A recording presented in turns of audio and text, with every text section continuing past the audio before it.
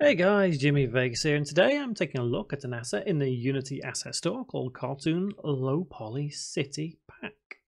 So this is a uh, free pack, which I'm assuming is going to be part of a larger pack, but let's take a look at the asset itself. So quality-wise, it's fairly nice. You know, it's it's not massively detailed, but when you come to stuff like low poly, that's to be expected there is a specific kind of style that people like about low poly. I myself do like low poly style, but only if it's pulled off just right.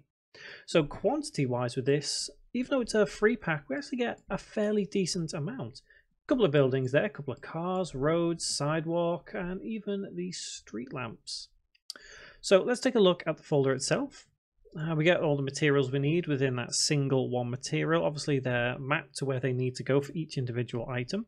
We get all the models here, and you can see we get things here, even this little trash can there, which is just here in the scene.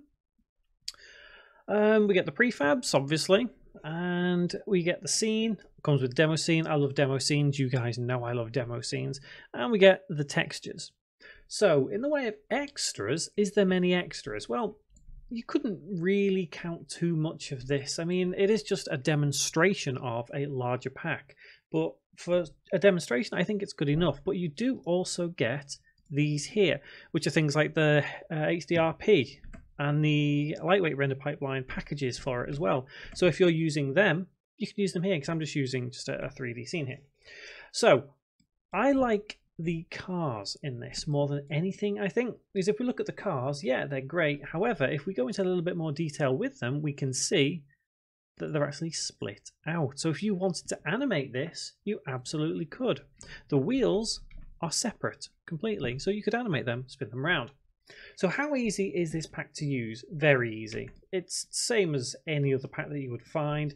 You can move things around, do whatever you need to. How customizable is it? Well, again, that's down to you. You could add a little bit of post-processing and see how it looks there. You can see that adds a little bit of extra oomph to the scene. Although it's just a simple scene, I still feel that adding a little bit of post-processing really adds to the effect of what you see here. So it is versatile in that respect easy to use, and you can change things. You know, if you wanted to, I don't know, change the road for whatever reason, again, always play around with some of these assets. You can see here, because this is all one material, anything you change on that material would impact the entire scene. But you can see how much I'm changing it now. So obviously, changing it all to red gives it that kind of red, dark, eerie, creepy feel.